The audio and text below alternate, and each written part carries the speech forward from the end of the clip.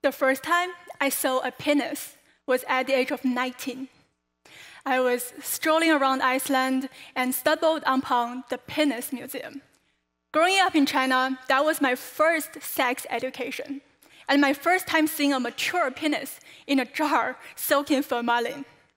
But that led me thinking, where's the Vagina Museum and the Clitoris Museum? So brace yourself for the sex education that I didn't get to learn when I was 19. Let's take a look at this image.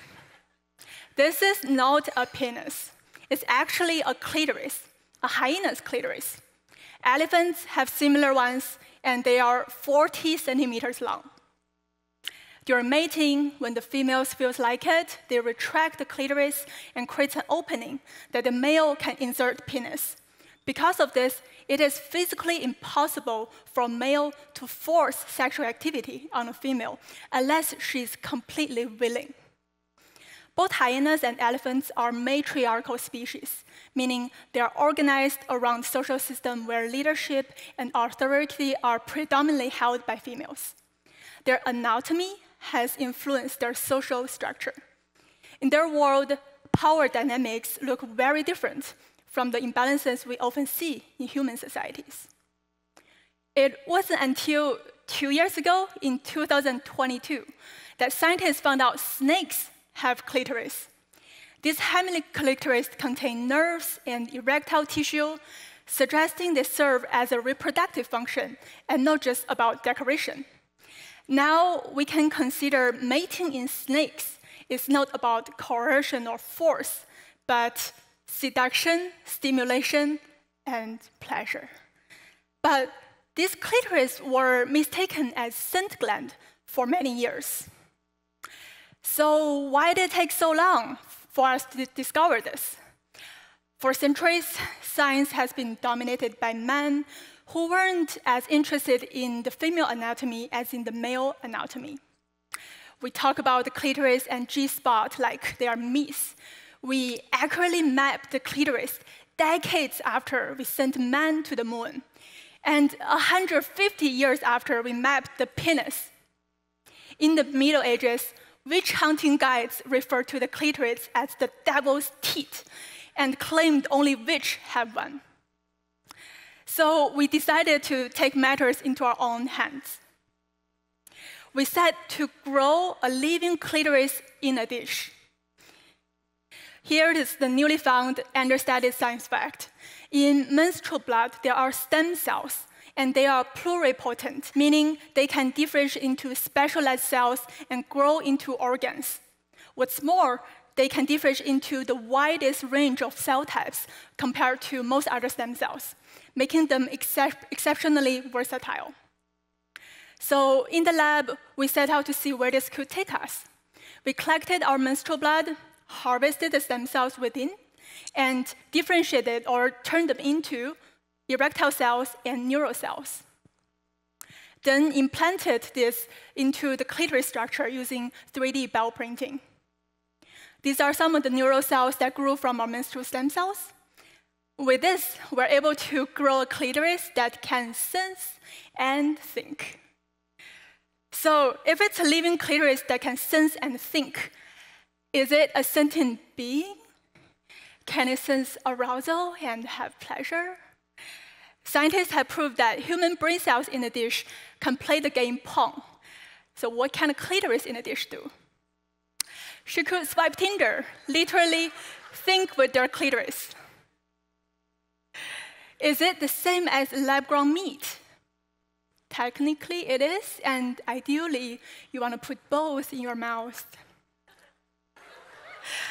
To follow the growth of this clitoris in a dish, find us on OnlyFans at Sentient Clit we are flipping the script on biocapitalism, using a platform built for objectification to reclaim narratives of sex, pleasure, and science.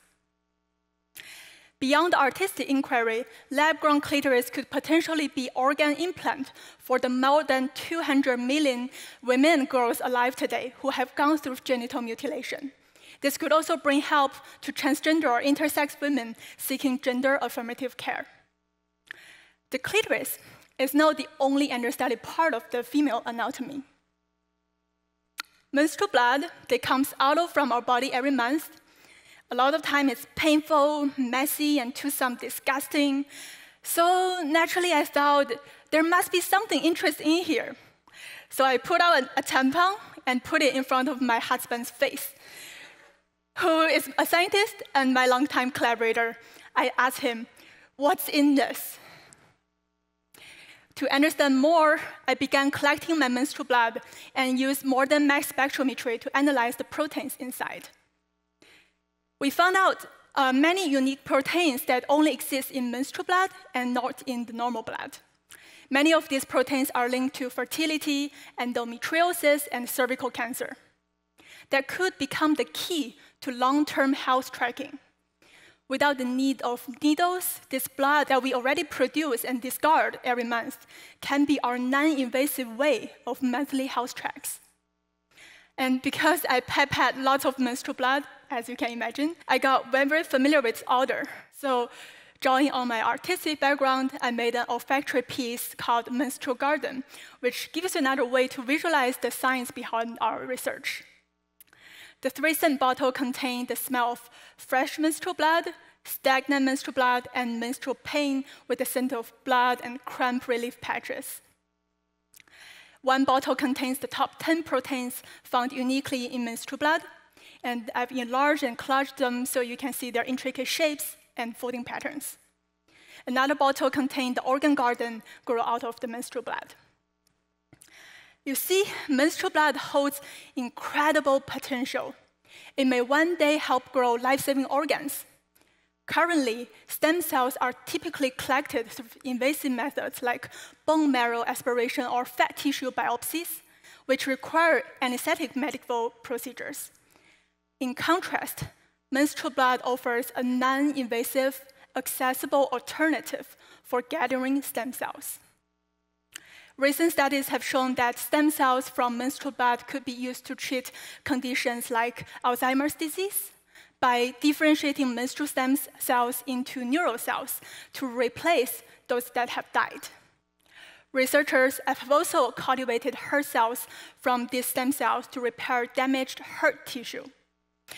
I like to call it use menstrual blood to patch a broken heart. Every year, more than 20,000 people around the world are waiting for heart transplants. Now, imagine if a heart could be grown from own menstrual blood, allowing for treatment that not only bypasses invasive procedures, but also reduces the risk of immune rejection. I'm trying to grow a heart from my menstrual blood for my mom. Two years ago, she suffered a heart attack. It was a painful reminder of how women are overlooked in medical science. Her symptoms didn't fit the typical profile for a heart attack, symptoms more often associated with men. And even doctors failed to recognize the danger. The delay in diagnosis has left my mom still unwilling to acknowledge that she has her disease. This experience inspired my partner Cooper and I to co found a company with the main mission to provide accessible, accurate, and affordable heart disease testing, and to coach people on prevention so that people like my mom can get the help they need before it's too late.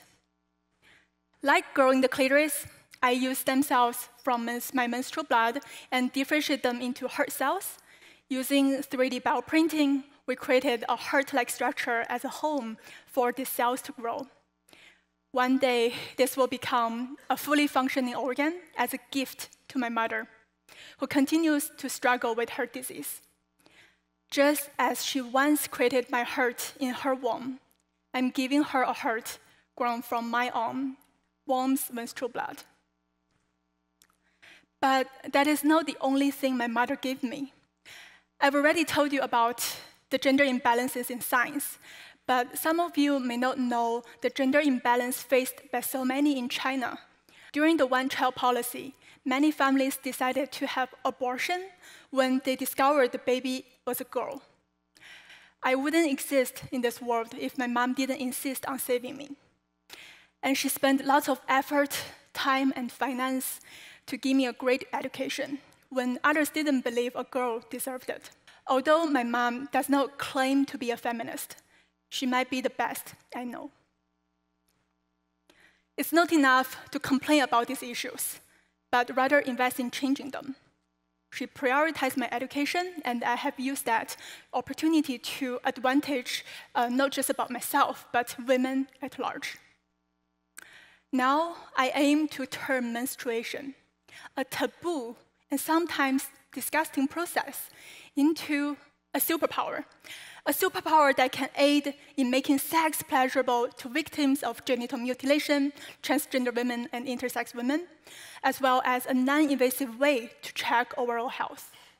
It has shown progress in treating disease such as Alzheimer's disease, and this superpower can decrease the number of people on organ transplant waitlists and provide them with life saving care that they need. But I'm not naive. The world doesn't seem to like it when women have superpowers. Women have the power to give birth. They bend our freedom to choose. When we have the power to grow organs, will it be banned? Will it be exploited?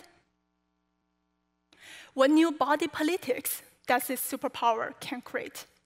Can it create advantages? Could this superpower tilt the balance of power between warm holders and those without, as we've seen societies like the hyenas and elephant? So I'll leave you with this invest in research that helps women because it actually helps us all. And if you feel especially called to help, visit me at my lab. I'm currently in need of some more menstrual blood because there's a baby girl in my belly now. I don't menstruate this year. and hope when she grows up, I'll be able to show her the Clitoris Museum. Thank you.